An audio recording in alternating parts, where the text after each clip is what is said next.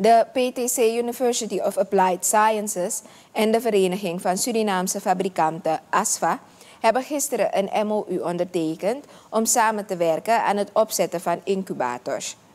Deze samenwerking omvat onderzoek, kennisdeling, stages voor studenten en gezamenlijke evenementen.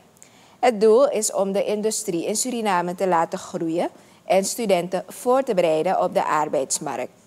De samenwerking staat ook open voor niet-asfaleden en versterkt de banden tussen het bedrijfsleven en technisch onderwijs in Suriname.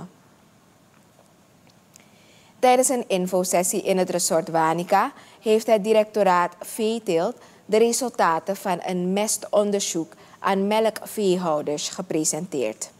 Uit het onderzoek bleek dat er verbeterpunten zijn, waaronder parasietenbestrijding, hygiënemaatregelen en preventiemaatregelen voor een goede gezondheidsstatus van het vee.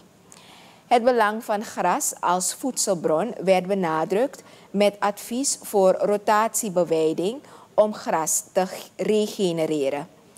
Het directoraat veeteelt heeft mestmonsters geanalyseerd om een gezonde veestapel te bevorderen.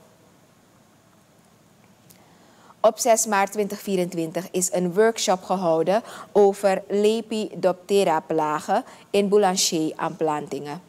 Het ministerie van LVV maakte daarin melding van een onderzoek dat zich richtte op het voldoen aan EU-eisen voor export naar lidlanden. De focus lag op surveillance-maatregelen en onderzoek naar specifieke motten die schade aanrichten in de vruchten. Bevindingen werden gedeeld met producenten en exporteurs. De afdeling Plantenbescherming Protection Organization van Suriname, NPPO, van LVV, streeft naar toekomstige surveillance-maatregelen en, um, en voor andere EU-quarantineplagen en gewassen.